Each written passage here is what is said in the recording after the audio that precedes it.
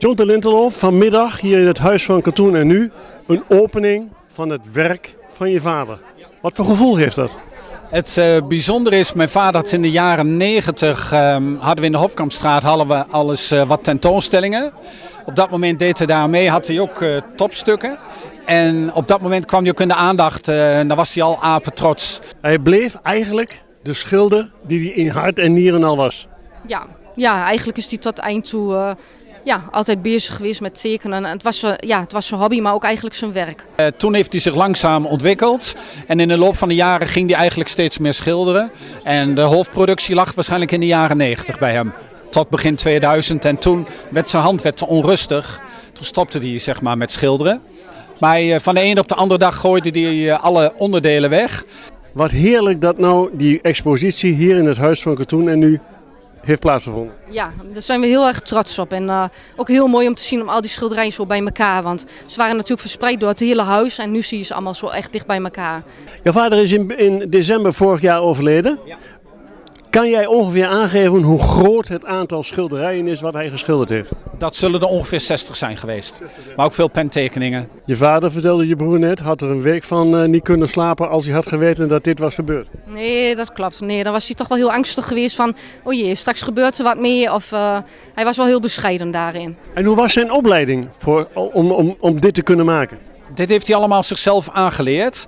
Uh, er is bijvoorbeeld een, uh, een smid en ja, ook wat schilderijen aan die kant. Die zijn eerste dingen. Hij, hij wisselde van, uh, van onderwerp. Maar vanaf de jaren 50 ging hij puur naar Almelo. Dit schilderij heeft hij in de loop van de jaren, denk drie of vier keer geschilderd. En de oudste was uit 1956. Deze die stamt uit 94. Dus, maar je ziet ook dat dit is eigenlijk de mooiste van, van de drie, vier schilderijen van dit onderwerp die hij heeft gemaakt. Dat is het verleden wat ons draagt en wat ons brengt naar de toekomst.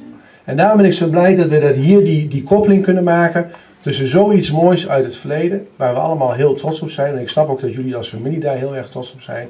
En mijn complimenten aan de organisatie en de mensen van het Huis van Katoen en Nu. Want het is schitterend dat we dat hier kunnen hebben en dat al de mensen uit Almelo hier aan de Nieuwe Haven kunnen genieten van deze mooie kunst uit Almelo. Trots. En ook al die oude foto's van Almelo, dat vond hij heel bijzonder om te zien.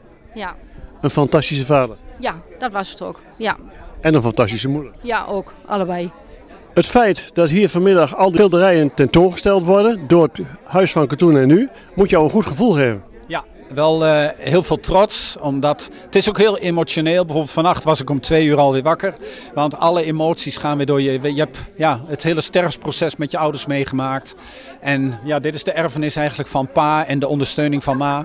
En uh, heel mooi voor hem dat, dat dit mogelijk is enorm trots op je vader. Ja, enorm trots. Eh, het was een hele lieve man. Een vrolijke man die eh, van een lach hield. En eh, een hele gezellige man. Hij, toen hij in de vijftig was, zei hij wat later een hele lieve opa. En dat is hij geworden.